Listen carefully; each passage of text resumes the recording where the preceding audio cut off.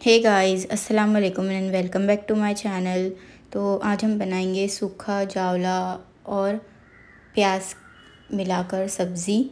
तो चलिए इसकी रेसिपी देखना स्टार्ट करते हैं। सबसे पहले कढ़ाई में हम ऑयल डाल देंगे। तीन चम्मच, तीन बड़े चम्मच ऑयल ऐड कर देंगे। जब तेल गर्म हो जाए तो इसमें एक छोटा चम्मच ज़ीरा ऐड कर देंगे। थर्टी सेकेंड्स तक उसे बबल्स आने देंगे स्टर कर लेंगे। फिर जब अच्छे से इस तरह से बबल्स आने लग जाए। ये देखिए, फिर इसमें हम कड़ी पत्ता ऐड कर देंगे दस से बारह।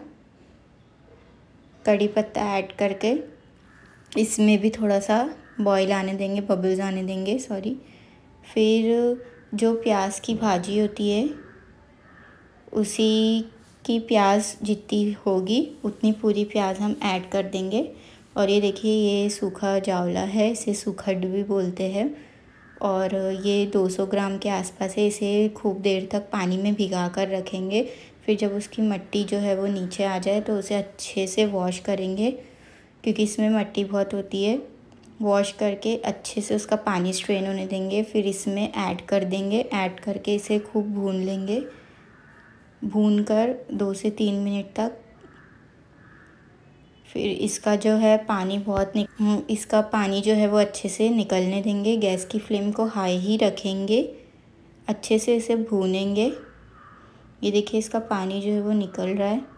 जब इसका पानी ये देखिए कितना पानी इसमें छूट रहा है। फिर जब इसका पानी सूखने आ जाए फिर इसमें हम दो टमाटर ले लेंगे और ये दस से बारह हरी मिर्च ले लेंगे, आठ से दस आप लोग तीखा जितना खाते हो उस हिसाब से मिर्च ऐड कर सकते हैं। दो टमाटर और ये हरी मिर्च जो है वो दोनों इसमें ऐड कर देंगे। जब जावले का जो सूखे जावले का पानी जो है वो सूख जाए, उसके बाद ही ऐड करेंगे। गैस की फ्लेम को हाई ही रहने देंगे और ये टमाटर और मिर्ची डालकर भी अच्छे से इसे भूनेंगे। क्योंकि अभी टमाटर डाले, उसका भी पानी जो है वो निकलेगा। अच्छे से फिर से दो से तीन मिनट के लिए भून लेंगे। अब हम इसमें नमक ऐड कर देंगे आधा चम्मच। नमक तो आप आपके टेस्ट के हिसाब से ऐड करें। और अब हम हल्दी पाउडर ऐड करेंगे, पाव चम्मच। और एक चम्मच धनिया पाउडर ऐड करेंगे। और इसे अच्छे से फिर से भून लेंगे। फिर से दो, एक दो मिनट के लिए फिर से अच्छे से इसे मिक्स करके अच्छे से भून लेंगे। जितना भूनोगे उतना अच्छा ही इसका टेस्ट आएगा। फिर ये दो बंच हरी प्याज का है, यानी कि स्प्रिंग अनियन जो हमने प्याज जितनी डाले ये दो बंच है। इसे भी अच्छे से पानी में भिगा कर रखेंगे। फिर इसे भी अच्छे से वॉश कर लेंगे।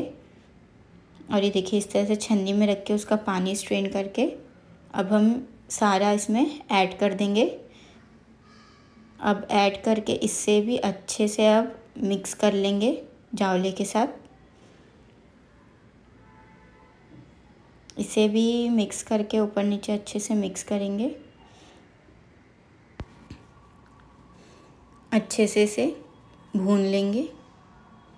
सॉरी मिक्स कर लेंगे अच्छे से। मिक्स करके अभी इसका भी पानी बहुत निकलेगा। गैस की फ्लेम को हाई ही रहने देंगे। ये देखिए कितना पानी इसका जो है वो निकल रहा है। पानी को अभी हाई फ्लेम करके पानी को सूखने देंगे। जब थोड़ा देखिए इस, इतना क्वांटिटी में जब थोड़ा सा पानी जो है नीचे हल्का सा रह जाए ढक्कन ढककर पाँच छः मिनट के लिए गैस की फ्लेम स्लो करके इसे अब पकने देंगे। ये पाँच मिनट में ही पक जाएगी। फिर जब पाँच छः मिनट हो जाए, फिर ये देखिए ढक्कन हटाकर अब हम इसे, देखिए कलर जो है पूरा चेंज हो गया इसका। अब हम इसे गैस की फ्लेम को हाई करके भून लेंगे। तीन, दो, तीन मिनट, अच्छे से तीन, चार मिनट भून लेंगे। भूनने से ही इसका जो है टेस्ट आएगा। जो नीचे हल्का थोड़ा बहुत पानी अगर रहा भी तो वो गैस की फ्लेम हाई करके हम भून लेंगे तो वह सूख जाएगा। ये देखिए, हमारी भाजी जो है सूखट यानी कि सूखा जावला और प्याज की भाजी मिलाकर जो है ये सब्ज़ी रेडी हो गई है। अगर आप लोगों को हमारी रेसिपीज़ ऐसी अच्छी लगती है तो like share comment and subscribe करना ना भूलें। अल्लाह हाफिज़।